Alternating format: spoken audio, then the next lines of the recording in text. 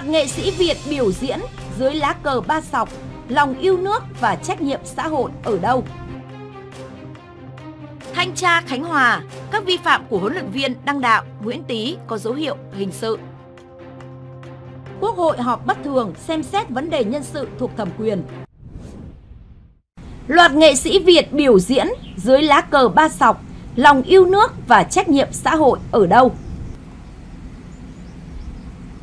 Thưa quý vị và các bạn, loạt nghệ sĩ Việt Nam đang là tâm điểm tranh cãi chỉ trích về lòng yêu nước và trách nhiệm xã hội khi bị đào lại quá khứ từng biểu diễn dưới lá cờ ba sọc. Sự việc hàng loạt nghệ sĩ Việt bị đào lại quá khứ với việc xuất hiện tại các sự kiện ở Mỹ dưới lá cờ ba sọc đã trở thành tâm điểm tranh luận gay gắt trong dư luận trong những ngày qua. Đây không phải chỉ đơn thuần là bức xúc của xã hội về lòng yêu nước mà còn đặt ra những câu hỏi về ý thức, vai trò trách nhiệm của nghệ sĩ trong xã hội, về lòng tự tôn dân tộc Thực tế từ những tên tuổi đình đám như Việt Hương, Trấn Thành đến những ca sĩ nổi tiếng như Tóc Tiên, Phan Đình Tùng, Phạm Khánh Hưng, Mira Trần đều đã từng xuất hiện tại các sự kiện có lá cờ ba sọc. Điều này khiến nhiều người bất ngờ và đặt câu hỏi liệu họ có thực sự hiểu rõ về ý nghĩa của lá cờ này, họ vô tình hay cố ý. Nữ diễn viên Việt Hương được biết đến với hình ảnh vui vẻ, gần gũi, từng bị đào lại một đoạn video clip ghi lại cảnh cô biểu diễn trên sân khấu dưới lá cờ ba sọc và trong nội dung của tiết mục biểu diễn có cả những câu thoại gây tranh cãi như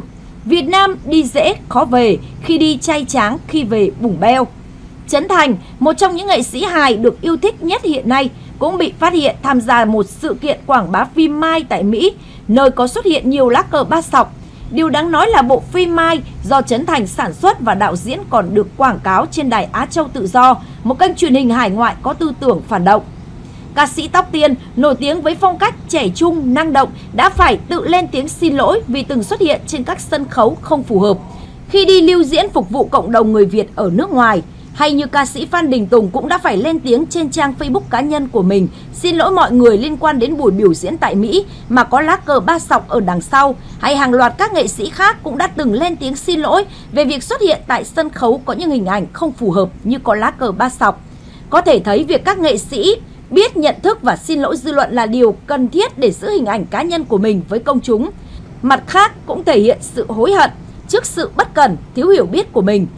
Tuy nhiên phải nhìn nhận với vai trò là những người nổi tiếng có tầm ảnh hưởng xã hội, các nghệ sĩ cần ý thức rõ ràng về trách nhiệm của mình bởi hình ảnh, lời nói của họ ảnh hưởng trực tiếp tới nhiều người hâm mộ. Nếu là những hình ảnh tiêu cực, sai trái sẽ ảnh hưởng tiêu cực tới nhiều người trong xã hội thậm chí ảnh hưởng đến hình ảnh đất nước với bạn bè quốc tế. Chính vì vậy, việc xuất hiện cờ ba sọc đi kèm những buổi biểu diễn của họ là những hình ảnh không phù hợp và đáng bị chỉ trích lên án. Những ví dụ này là một bài học đắt giá để các nghệ sĩ rút kinh nghiệm, trau chuốt hơn, cẩn thận hơn với lời ăn tiếng nói, cũng như hành động của mình trước công chúng. Nghệ sĩ cần phải ý thức hơn về hình ảnh và trách nhiệm xã hội của mình, cẩn trọng hơn trong việc lựa chọn các sự kiện, sân khấu, nội dung biểu diễn và có trách nhiệm giữ gìn hình ảnh, lòng tự tôn dân tộc. Thanh tra Khánh Hòa, các vi phạm của huấn luyện viên Đăng Đạo, Nguyễn Tý có dấu hiệu hình sự.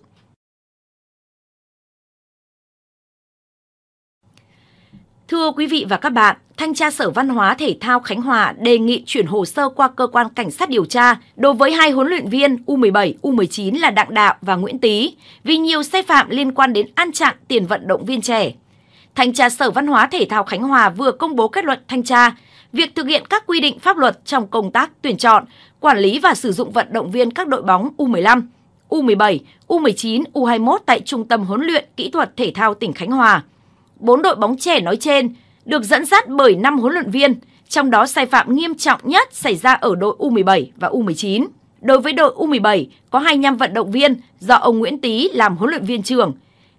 Trong năm 2021, tiền ăn của vận động viên là 70.000 đồng một người một ngày.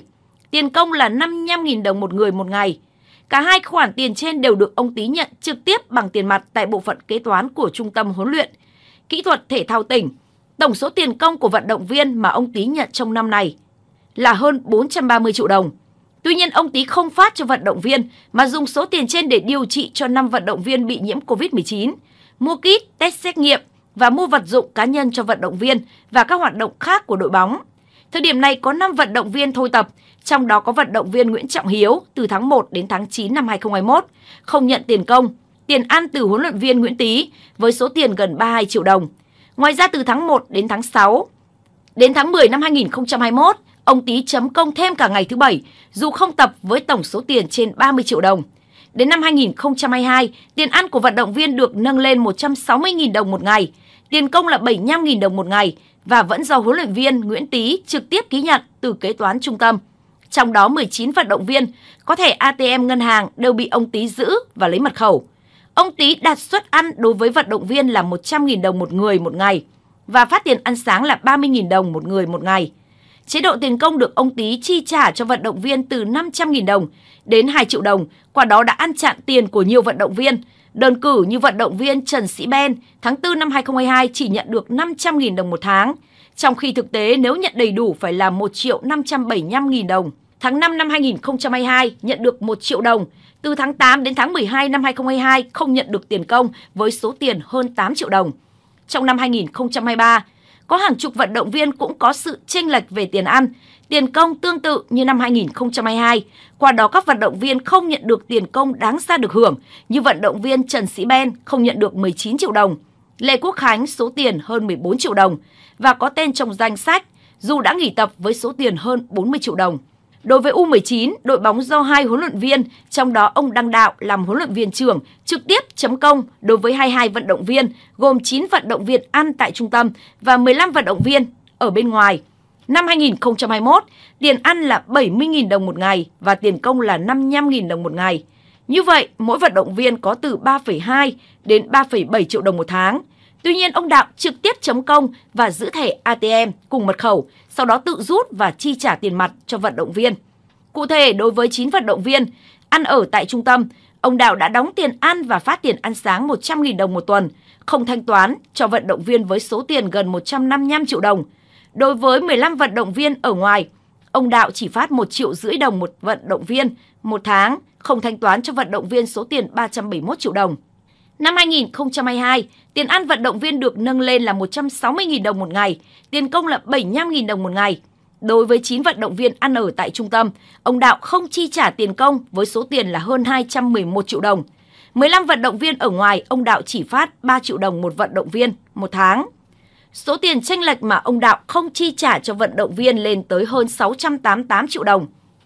Năm 2023, các vận động viên được nâng chế độ 9 vận động viên ở trung tâm không được thanh toán tiền công là trên 191 triệu đồng. 15 vận động viên ở ngoài không được ông Đạo chi trả tiền công gần 630 triệu đồng. Ngoài ra, hai vận động viên U19 đã nghỉ tập từ tháng 1 năm 2021 đến thời điểm thanh tra vào tháng 6 năm 2024 vẫn có trong danh sách nhận chế độ tiền ăn và tiền công với số tiền hơn 247 triệu đồng.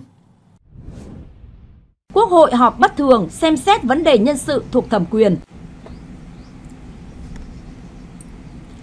Thưa quý vị và các bạn, theo văn bản về dự kiến chương trình kỳ họp bất thường lần thứ 8, Quốc hội khóa 15, căn cứ quy định của hiến pháp và pháp luật, Ủy ban Thường vụ Quốc hội quyết định triệu tập kỳ họp bất thường lần thứ 8, Quốc hội khóa 15 để xem xét nội dung về công tác nhân sự thuộc thẩm quyền của Quốc hội. Kỳ họp sẽ diễn ra trong một ngày, bắt đầu từ 8 giờ ngày 26 tháng 8 tại nhà Quốc hội thủ đô Hà Nội. Về nhân sự, theo quy định của pháp luật, Quốc hội thực hiện bầu phê chuẩn, bổ nhiệm và miễn nhiệm, bãi nhiệm các chức danh lãnh đạo nhà nước. Quốc hội sẽ tiến hành bầu miễn nhiệm các chức danh bằng hình thức bỏ phiếu kín và sẽ biểu quyết thông qua nghị quyết bằng ấn nút điện tử. Tại hội nghị diễn ra ngày 16 tháng 8, Ban chấp hành Trung ương Đảng đã giới thiệu nhân sự và cho ý kiến để Bộ Chính trị giới thiệu nhân sự, kiện toàn lãnh đạo một số cơ quan nhà nước nhiệm kỳ 2021-2026 theo quy định. Về công tác nhân sự, Vừa qua, Bộ Chính trị đã điều động phân công Phó Thủ tướng Trần Lưu Quang giữ chức trưởng Ban Kinh tế Trung ương. Tại kỳ họp thứ 7, ông Lê Thành Long đã được Quốc hội phê chuẩn bổ nhiệm giữ chức Phó Thủ tướng. Tới nay, Phó Thủ tướng Lê Thành Long vẫn đang kiêm chức Bộ trưởng Bộ Tư pháp. Đầu tháng 8 vừa qua, Ban chấp hành Trung ương Đảng đã đồng ý để Phó Thủ tướng Lê Minh Khái thôi giữ chức vụ Bí thư Trung ương Đảng, Ủy viên Trung ương Đảng khóa 13 Trung ương cũng đồng ý để Bộ trưởng Tài nguyên và Môi trường Đặng Quốc Khánh thôi giữ chức Ủy viên Trung ương Đảng khóa 13. Sau đó, Ủy ban Thường vụ Quốc hội đã thông qua nghị quyết cho thôi làm nhiệm vụ đại biểu Quốc hội khóa 15 đối với ông Khánh. Kỳ họp bất thường lần thứ 8 được diễn ra trong một ngày tại nhà Quốc hội thủ đô Hà Nội. Sau đó, hội nghị đại biểu Quốc hội hoạt động chuyên trách sẽ được tổ chức trong 3 ngày, dự kiến từ ngày 27 đến ngày 29 tháng 8 để thảo luận 12 dự án luật sẽ chỉnh Quốc hội tại kỳ họp thứ 8.